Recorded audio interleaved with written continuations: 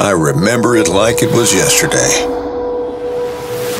Back then, life was peaceful, safe, and fun. Our nation thrived, and there was hope. Or so we thought. Natural disasters hit hard worldwide. Corruption reigned and drained nations dry.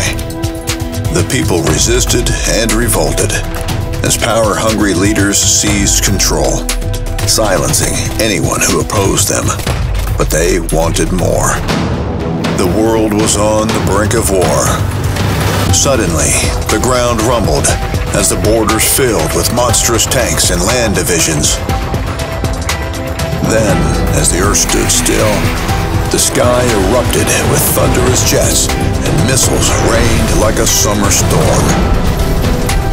Lastly, the horizon darkened, surging forward like a relentless tsunami of soldiers and war machines, crushing all in a wave of total destruction.